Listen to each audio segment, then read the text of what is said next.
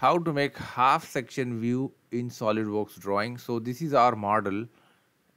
I already made one drawing. This is top view. If you check here, this is our top model.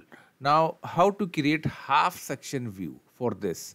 Half section view is uh, normally used to show a hidden date, hidden line or hidden features or hidden dimensions so if you go to drawing, activate section view and here you will see full section, section it is actually a full section these cutting lines.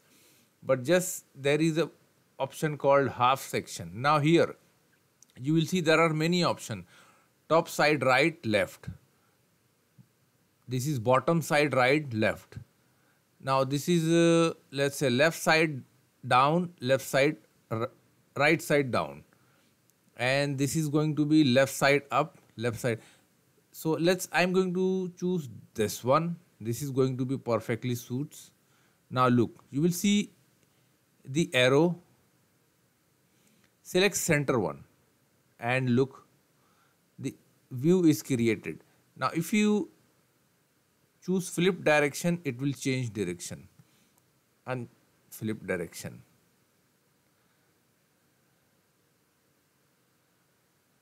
now look just simply delete this. Now look if we check this and here comes slice section view it will show you only this slice section view. Uncheck auto hatching already there. Now scale hatch pattern but we don't need emphasize outline. This is already a thickened line so no need to show and rest keep as it is. See, even though let's say this view, high quality, and you will see here,